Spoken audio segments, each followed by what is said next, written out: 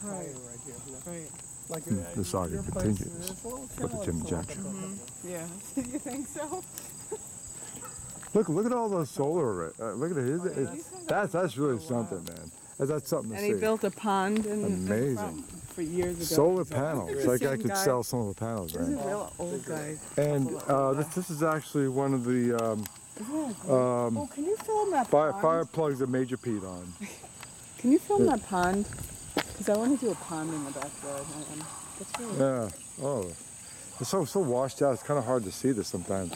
But the pond. This is what we want in our backyard. Fire hydrant's been replaced since Major Pete on it. No, it isn't. It, no, it was just repainted. This is what Major Pete on in 1972. Thank you. There's a Major P. All right.